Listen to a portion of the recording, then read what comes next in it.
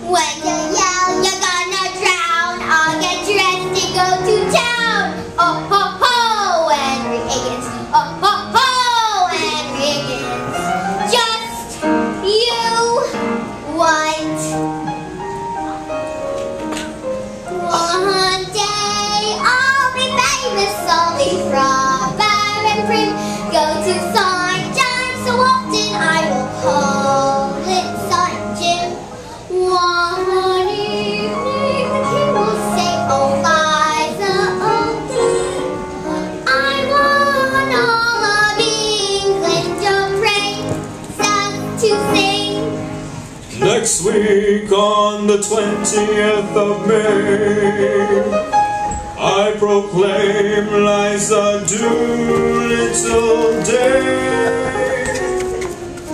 All the people celebrate the glory of you, and whatever you wish and want, I gladly will do.